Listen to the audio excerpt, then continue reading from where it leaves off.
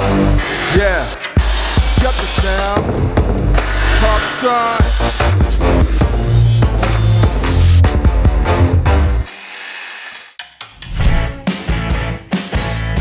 Hallo und herzlich willkommen bei Du packst das.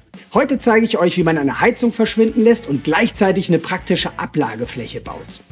Bevor wir loslegen, hier aber erstmal das Wichtigste. Die Parkside-Produkte, die heute zum Einsatz kommen.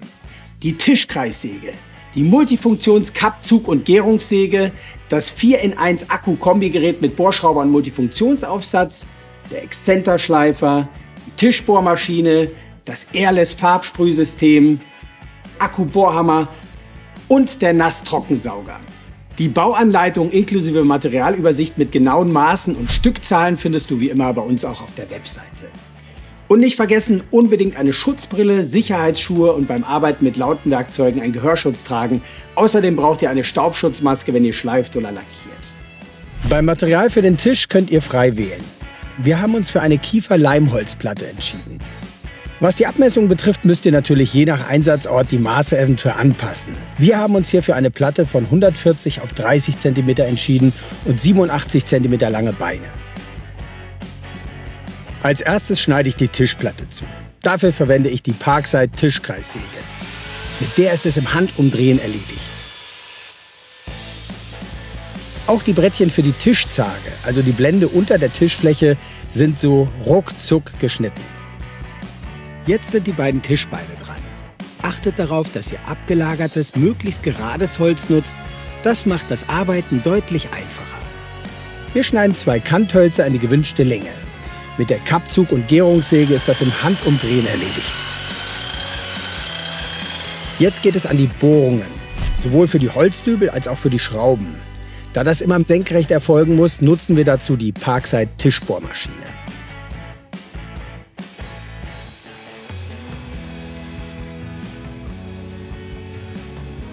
Wir bohren zwei Löcher an den Stirnseiten der Zagenleisten, die mit zwei Holzdübeln an den Querbrettern bzw. Tischbeinen verankert werden. Genau wie die langen Stücke der Zage, die jeweils vier Löcher für die Verbindung zur Tischplatte nach oben bekommen.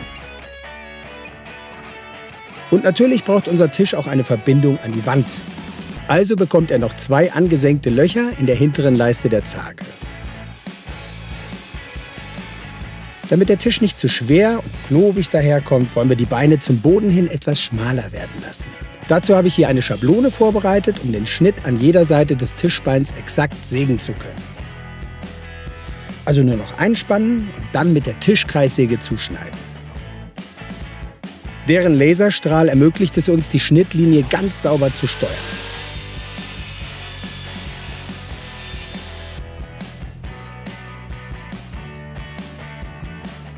Dann sollten wir jetzt die Gelegenheit nutzen, wo wir noch an alle Einzelteile gut herankommen und schleifen die Oberflächen. Das machen wir mit dem Parkside Exzenterschleifer. Um euch lästigen Schleifstaub zu ersparen, arbeitet dabei immer mit dem angeschlossenen Nass-Trockensauger und tragt zur Sicherheit noch eine Staubschutzmaske.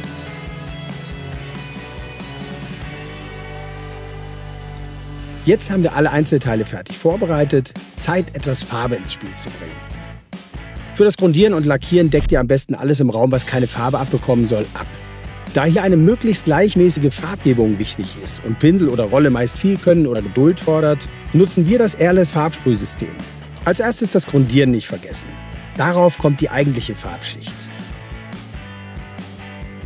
Und vergesst Schutzmaske, Brille und Handschuhe nicht. Stellt die Werkstücke am besten aufgereiht auf zwei Böcke wie hier. Mit dem Airless Farbsprühsystem werdet ihr auf jeden Fall eine nahezu makellose Oberfläche hinbekommen. Gebt dem Ganzen anschließend genug Zeit zu trocknen. Wir wollen ja keine Macken in der schönen, frischen Farbschicht. Was jetzt noch bleibt, ist das Zusammenfügen der Einzelteile. Dafür schleifen wir mit der Data-Schleifplatte auf dem Multifunktionsaufsatz unseres 4 in 1 Akku-Kombi-Geräts die Kontaktflächen der Zagen einmal leicht an. Dann tragen wir Leim auf. Den Unterbau mit Zwingen während der Abbindezeit zusammenpressen, austretenden Leim wieder mit einem nassen Lappen sofort wegwischen. Die Tischplatte fixieren wir mit Schrauben am Unterbau des Tisches. Alles fest? Dann geht es an die Wandmontage. Dafür habe ich die Wand und unsere Heizung schon mit dem Airless Farbsprühsystem im gleichen Farbton wie unser Tisch besprüht.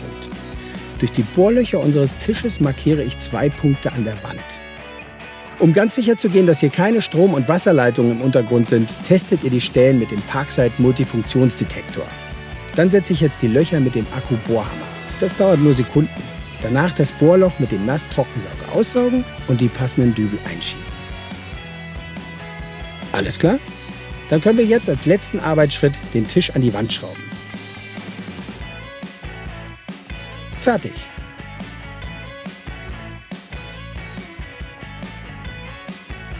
Sieht gut aus, oder?